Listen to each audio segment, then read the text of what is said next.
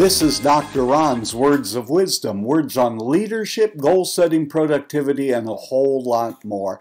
I trust today you'll consider this like a vitamin or supplement for your mind and heart. And wherever you receive podcasts, be it iTunes, Stitcher, Spotify, and on and on, would you please go right now and subscribe to Dr. Ron's Words of Wisdom? Leave a rating and a brief written review. It really is helpful enabling others to be able to find this podcast. Thanks for joining today. I want to talk about the goals of a leader, especially in turbulent times like we're facing in the world today. And I just have nine quick things that I want to remind all of us, myself and all of us, of what should we do about our goals and leading during these turbulent times. I think whenever we face a turbulent time, we need to uh, really come back to what is our foundation? What is the anchor? What is it that holds us? If you're a person of faith, then it's going to be God.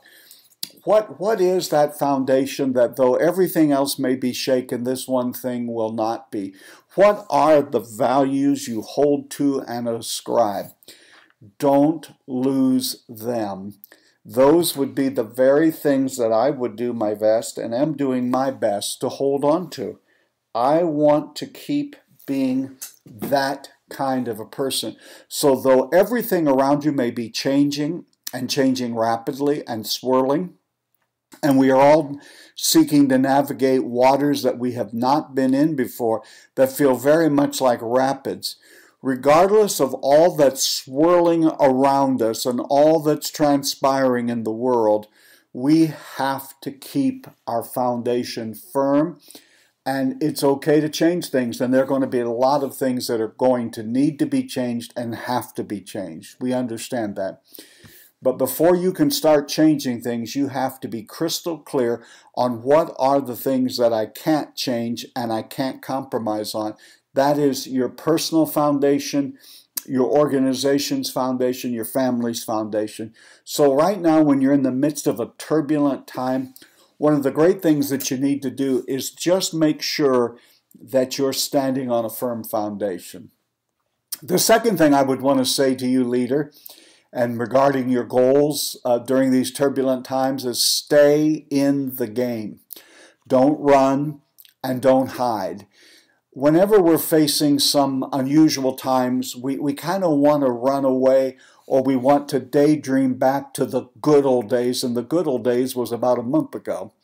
We, we want to go back to the way things used to be. Now, it may be, in fact, that many things will go back the way they used to be, but there's always a sense in which not everything will go back the way that it used to be. But right now, you and your organization, your family, and your friends need you, my friend, to stay in the game. You can't run. If you're the leader, you can't run. This is why you are where you are for such a time as this. Don't go into hiding. I don't mean that you have to be bugging people every moment of the day, but stay in the game. We need you. You're important. Stay with it. So, right now, I'm saying make sure you understand that your foundation is firm. Make sure you stay in the game. Don't abandon, don't run, or don't hide. Number three is be open and honest. I was in a Zoom meeting yesterday with some colleagues and there was a lot of discussion about good things that are happening right now and some things that aren't so good. And I think there was an honest discussion over the fact that we know there are many people in our world who are suffering from depression and anxiety. I have to admit that there are even times as we're going through this that, that I feel a sense of sadness. Sadness that I'm not able to participate in some of the things I was participating in sadness that there is this sense at times of isolation, and it's all right. And, and uh, you just need to be open and honest. Leader, you don't have to have all of the answers. It's all right at times to be vulnerable, and it's especially noteworthy in times like this to display a transparency that says, I don't know what all the answers are for everything today. I don't know exactly how we're going to get through this, but I promise you we are going to get through it. and we are going to get through it together and we'll be better together. So let's just be open and honest. Don't go around like this isn't bothering you. You have it all figured out. First of all, everyone knows that's not the case. Be open and honest. Perhaps the person we need to be most open and honest with today is ourself. We don't have all of the answers. It may even be we didn't see these things coming. But let's work our way through it, which leads to number four one that drum that I am beating very strongly in these days, and that is the area of self care. Get out and somehow, even if it's in your own yard, and do some physical exercise. Feed your spirit, feed your mind, look after other people, but it's not selfish to participate in self care. We need you. We need you in the game. We really are depending on you, leader.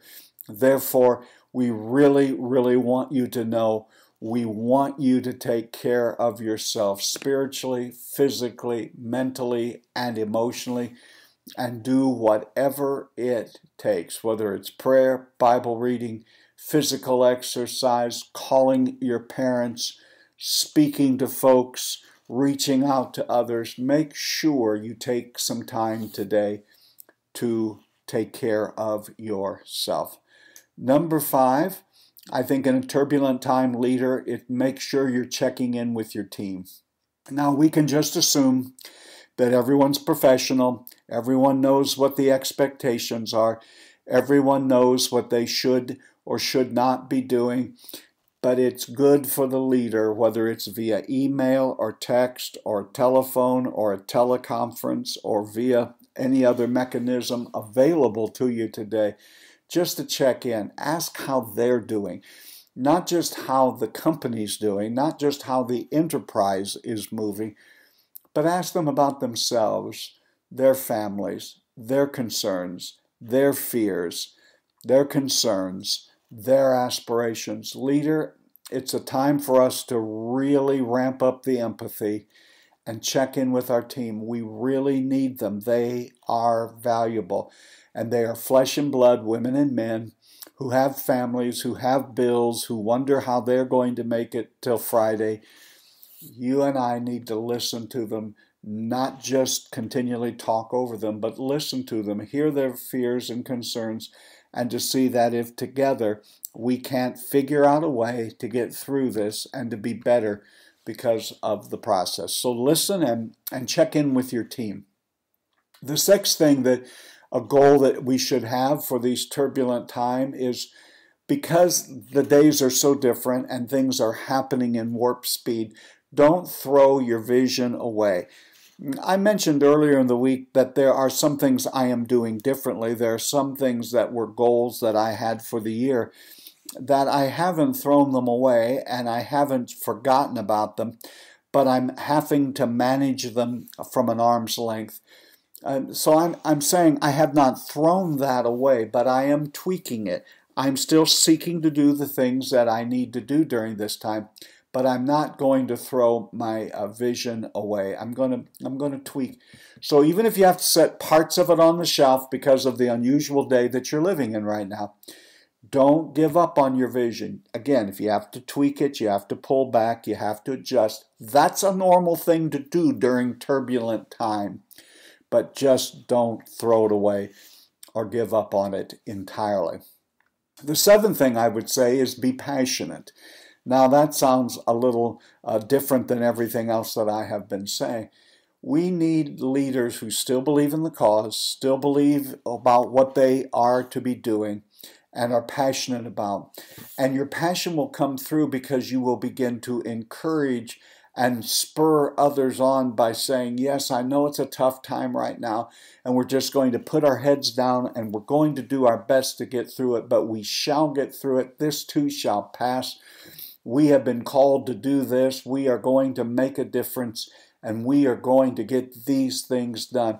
I, am not talking about a fake it till you make it. I'm talking about a genuine, heartfelt, you are totally convinced about what it is you've been called to do, what it is you are doing, and you exude a passion. You talk about a virus, passion is is virus like in that it if it exudes from you, it can't help but spill over on other people and and just sort of be the nudge that we need. Be great if we as leaders would not only be able to encourage ourselves, but we would be the nudge for someone else. And that leads me to the eighth goal that we should have as leaders during turbulent times, and that is just to be courageous. Courageous people are not people who are numb to fear. They are people who feel, feel fear but move ahead anyway. Every great leader has led during very troubling times, and what they have done is they've just pushed forward. They screwed up their courage. They sought through prayer or encouragement or reading or just meditating to, to get help, to be courageous, to be reminded I am here for a time like this. If it were easy, anyone could do it. I need to be courageous. I need to have the courage to take one more step forward. Uh, the ninth and final thing that I'm going to say as we talk about what should be our goals as leaders during turbulent times is don't forget you need to manage well oftentimes there is this dichotomy, there is this tension between leadership and management. And I've read the literature and I've heard the lectures and, and I understand what the basic principles are. But there is a sense in which if you're a manager, there are times you have to lead. And likewise is also true as a leader, there are things that you have to manage. Those of you who are managing companies or managing departments as a leader, the word management is there make sure you check in with how everything is doing. You think about how are we going to manage this. I, I heard a person yesterday say that uh, every crisis we go through, every troubling time we go through, should really uh, be a learning experience. One person said they learned that when the last economic turned down about a decade ago was the fact that they didn't have much cash. They had no emergency fund. And so in the last 10 years, they slowly, surely, incrementally have built up a emergency fund to help them through these tough times. If you don't have that now, that'd be one of the things you ought to write in your little book about things I am learning during this crisis is I must learn to be a saver. I'm there, there are other lessons. I need to do this. I need to stop doing that. Whatever it is, there are things you need to manage, not just the organization, but yourself. But remember, smooth seas never have created a good captain or sailor. It is where we learn how to do things is going through the storms of life. And right now, you and I are going through a storm. Don't forget what your foundation is. Stay in the game. Don't run. Don't hide. Be open and honest about how you're feeling. Make sure you invest in yourself through self care physically, spiritually, emotionally, mentally. Listen and check in with your team. You might try that today. Don't give up on your vision. You may have to tweak it, but don't give up on it. Find the courage to be passionate and don't forget to manage what's yours to manage very well today. You've been listening to Dr. Ron's words of wisdom, words on leadership, goal setting, productivity, and a whole lot more. I hope today it's been like a vitamin or supplement for your mind and heart. And again, wherever you receive podcasts from, if you would please subscribe to Dr. Ron's words of wisdom, leave a rating and a brief written review. It will really help others to be able to locate this podcast. Remember, my leadership friend, even in difficult days like this, you are making a difference and you are doing better than you think you are. You really are. And until next time, this is Dr. Ron saying, have a great and blessed day.